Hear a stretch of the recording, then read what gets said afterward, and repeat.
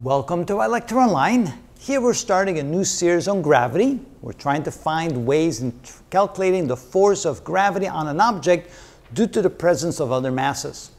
We'll start with some simple examples where we have point masses and then we graduate to more complex examples where we have mass distributions such as shells and spheres. Now notice here that we have three masses, M1, M2, and M3, and we're trying to find the force of gravity on M3 due to the presence of the other two masses, m1 and m2. Now, gravity, or the force of gravity, is indeed a vector quantity. So to find the total force on m3, we have to add the two vector quantities. The force between m1 and m3, and the force between m2 and m3. So let's graph those vectors and see what they look like. So here we can graph the force between m1 and m3. And here we can graph the force between M2 and M3. And I'm predicting that that force will probably be a little bit larger. Notice those are vectors. And when we add them together, we have to take into account the direction. Now in this case, that's easy because they're both, both pointing in the same direction.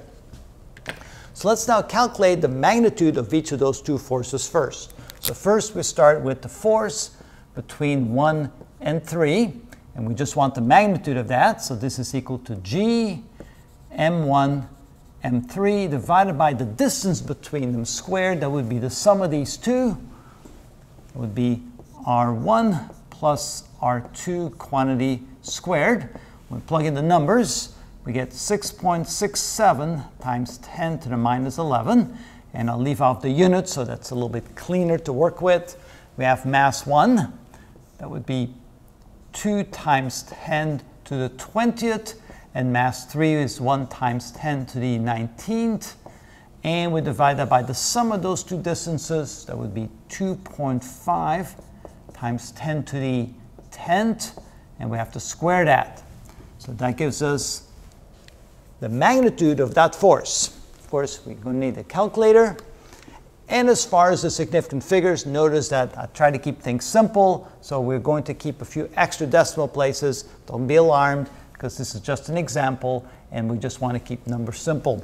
So 6.67 e to the 11 minus times 2e20 times 1e19 divided by 2.5 e to the 10 squared equals, and we get 2.134 so it'll be 2.134 times 10 to the 8 newtons.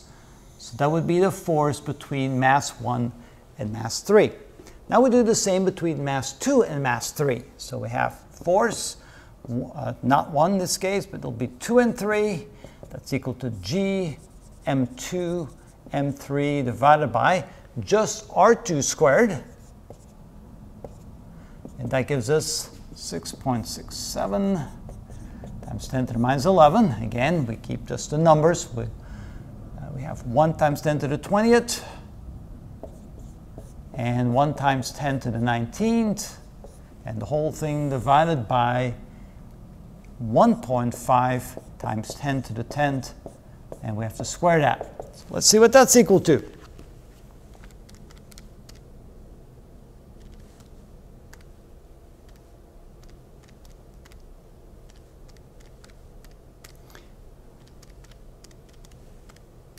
And that becomes 2.964. 2.964 times 10 to the 8 newtons, and that should be an 8. There we go. And as we predicted, just a little bit bigger than the force between 1 and 3 because it's that much closer. And notice that the force of gravity depends upon 1 over the distance squared, so that has a bigger impact. So now we need to find the total force and notice that since they're both pointing in the same direction, we can simply add the magnitudes. So that means that F total is simply equal, the magnitude of that is simply equal to F13 plus F23. Notice that the magnitudes of vectors cannot be negative. We're just finding the magnitude. So here we have 2.134 times 10 to the 8 meters plus 2.964 times 10 to the 8. And that should not be meters, but newtons, of course. That's a force. All right. So what that's equal to, so 2.964 plus 2.134. And I'm rounding it off. Let's just write as 5.1. 5.1 times 10 to the 8 newtons. So that's the magnitude of the force.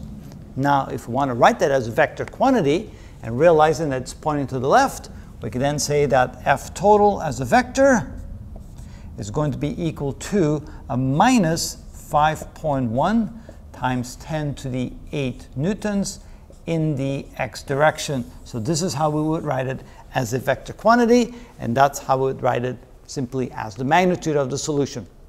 And that's how it's done.